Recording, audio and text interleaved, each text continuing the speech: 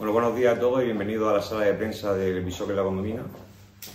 Eh, hoy estamos aquí para la rueda de prensa del futbolista Booker, previo al partido del Recreativo Granada este fin de semana. Y hoy tenemos el gusto de anunciar la renovación de Atrium Salud por segundo año consecutivo en nuestro club de empresas.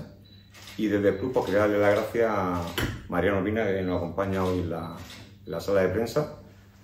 Eh, Mariano, pues muchísimas gracias por, por seguir apostando por, por el club de empresas, por el deporte, por la universidad y por seguir con nosotros, que esperemos que siga muchísimos años más. A vosotros por la confianza depositada. Muy bien, pues os dejo con Booker para que responda las preguntas. Muchas gracias. Bueno, en primer lugar quería mandar un mensaje de, de ánimo de parte de toda la plantilla por, para todas las familias afectadas por, por la DANA. Y bueno, a la pregunta eh, lo tratamos como, como otra semana más. Eh, cuando ganamos afrontamos las semanas igual y con ganas de, romper, de romper esa, esa racha de, dos empates y, con ganas de, que llegue el domingo. Correcto. Eh, dice mucho de, nosotros que después del partido no, nos quedáramos pues eso, con, ganas de haber sumado tres puntos.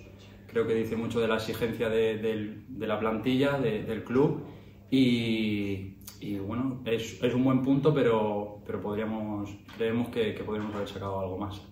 Y, y nada, ahora con ganas de, de, de este domingo de, de, poder sacar los tres puntos, que seguro que sí. Lo que tú dices son jugadores jóvenes, eh, al final eh, es un, un, filial que tiene individualmente jugadores que te pueden marcar la diferencia, pero también tienen su, sus puntos débiles. Eh, analizando al equipo rival, pues vamos a buscar eso, intentar hacerle, hacerle daño donde, donde podamos. Intentamos no, no, pensar en eso, vamos partido a partido, pero sí que es verdad que, que eso, que, que, nos motiva que, que, sigamos puntuando.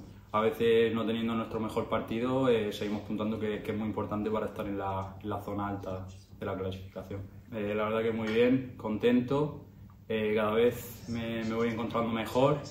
Eh, con, con, mucha competencia en mi posición, sí que es verdad, pero creo que me está haciendo cada vez mejor jugador y también exigiendo a mis compañeros que le va a venir bien al, al equipo.